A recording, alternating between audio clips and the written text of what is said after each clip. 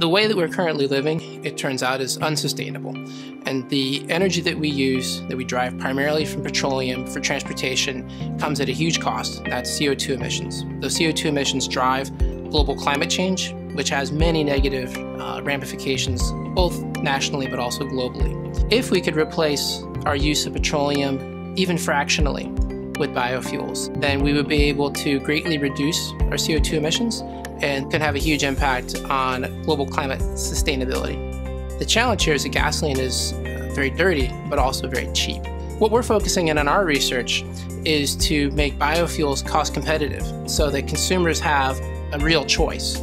Lignocellulosic biomass is, simply put, the, the parts of the biomass of a plant material that is not edible by humans. So corn stalks and cobs and things of that nature. The key challenge is converting the plant materials into forms that can easily be modified chemically. There are several different methods that have been recommended for breaking down these complex molecules into simpler ones that can be converted into fuels. The most common of those uses a liquid acid. And the challenge to doing that is to doing it at scale and doing it cost competitively with gasoline.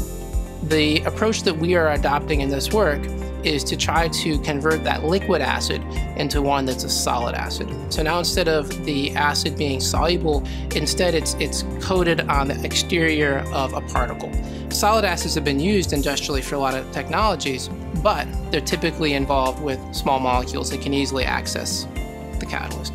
In this case, we have a second particle, that being the biomass, which is a solid particle. How does that interact with the surface?